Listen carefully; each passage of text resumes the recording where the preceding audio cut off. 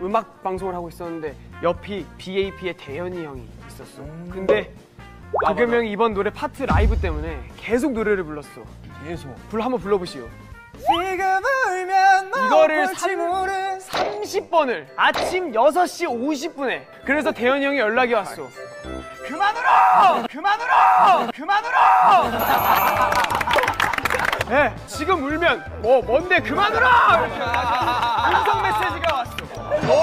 미안했어. 너무 죄송했어. 진짜 너무 미안했어.